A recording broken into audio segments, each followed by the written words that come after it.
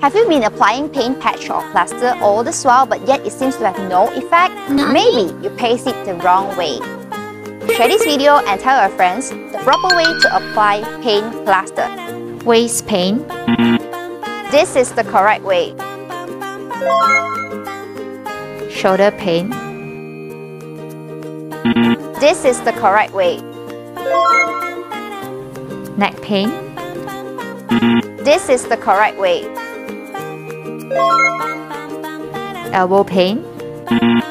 This is the correct way. wrist pain. This is the correct way. knee pain. This is the correct way. ankle pain. This is the correct way. I'm Iwan I'm here to take care of your health and beauty.